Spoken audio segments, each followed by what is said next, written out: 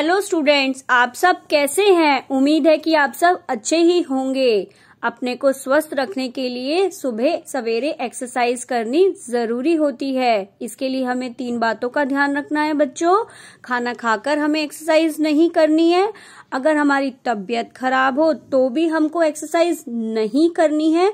और एक्सरसाइज हमेशा बड़ों की देखरेख में ही करनी चाहिए।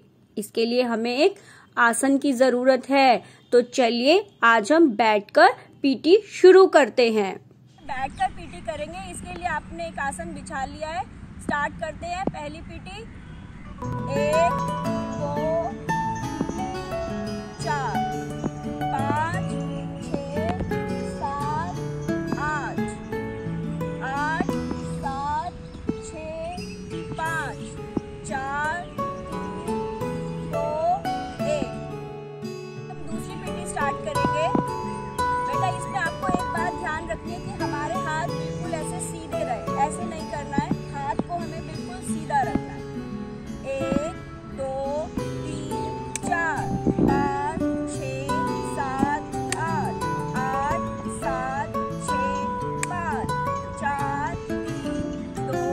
थे एक दो तीन चार पाँच छ सात आठ आठ सात छ पाँच चार तीन दो एक। बच्चों सब पीटी को हम एक बार फिर से प्रैक्टिस करते हैं।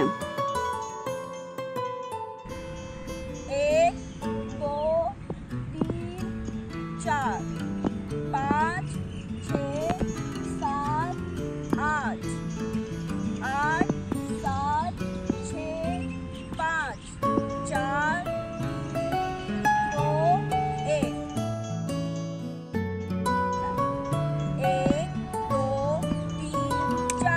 Bye.